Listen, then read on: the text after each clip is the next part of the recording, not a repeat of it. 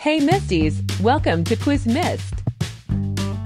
Let's play Lisa or Lena. Get ready to make your choices. Alright, let's go.